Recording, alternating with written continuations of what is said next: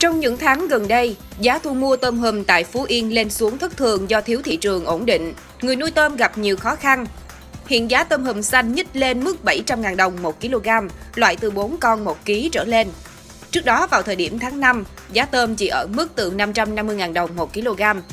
Với giá bán khoảng 700.000 đồng thì người nuôi hòa vốn. Hiện thức ăn cho tôm và xăng dầu vận chuyển đều tăng giá.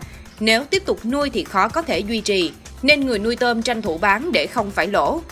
Thống kê của Phòng Kinh tế thị xã Sông Cầu, tỉnh Phú Yên, trong 6 tháng đầu năm 2022, các hộ nuôi đã thả 48.695 lồng tôm hùm thịt, sản lượng tôm hùm các loại ước đạt 630 tấn.